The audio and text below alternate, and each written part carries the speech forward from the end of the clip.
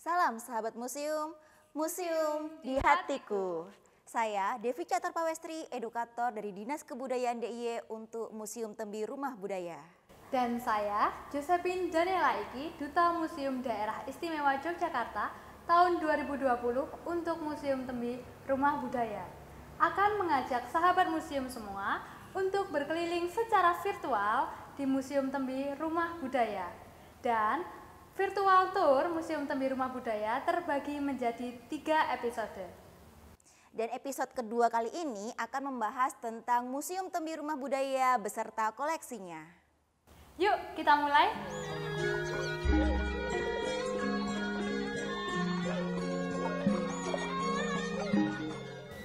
Museum Tembi Rumah Budaya memiliki koleksi etnografi yang berkaitan erat dengan kebudayaan Jawa. Bahkan beberapa di antara koleksinya sudah diakui secara internasional oleh UNESCO. Di antaranya ialah wayang, keris, dan juga batik.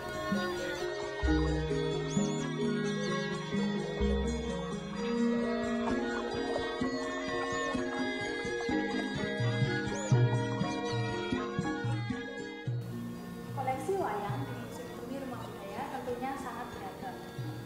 jumlah koleksi wayang kulit sejumlah 201 buah dan juga untuk koleksi wayang golek sejumlah 70 buah.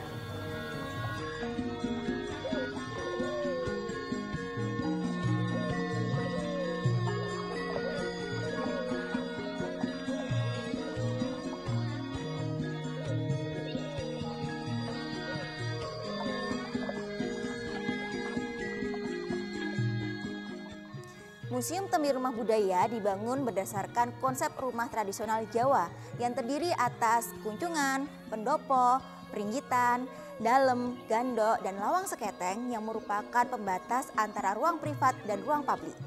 Dan ruang utama museum ini merupakan bagian dari dalam atau ruang utama keluarga.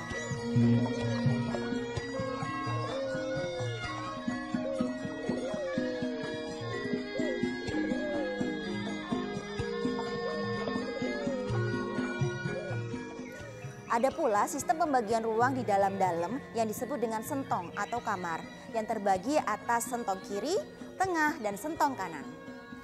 Ketiga sentong ini memiliki fungsinya masing-masing. Sebagai contoh, sentong tengah yang difungsikan secara khusus untuk berdoa kepada Tuhan. Selain itu, sentong tengah juga disebut sebagai pasren atau tempat untuk penghormatan kepada Dewi Sri, yang juga disebut sebagai Dewi Kesuburan atau Dewi Padi.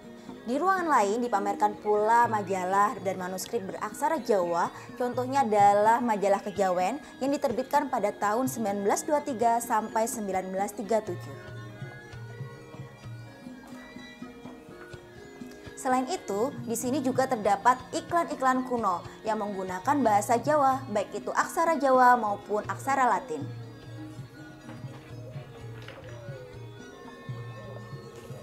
Ada pula beberapa koleksi benda kuno bernuansa modern yang ditemukan di Tembi Rumah Budaya. Salah satunya adalah sepeda ontel ini. Dan ada pula aneka sepeda motor.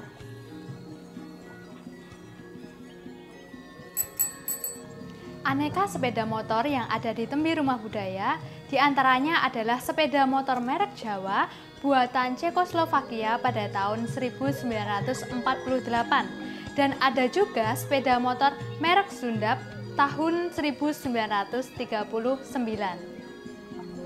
Tembi Rumah Budaya juga memiliki berbagai koleksi telepon dan radio. Selain itu, di samping saya ini terdapat kulkas tanpa listrik yang benar-benar difungsikan tanpa menggunakan daya listrik ataupun baterai. Tidak terasa kita telah selesai melakukan virtual tour Museum Tembi Rumah Budaya episode kedua. Sampai jumpa di virtual tour Museum Tembi Rumah Budaya episode ketiga. Salam sahabat museum. Museum di hatiku. Museum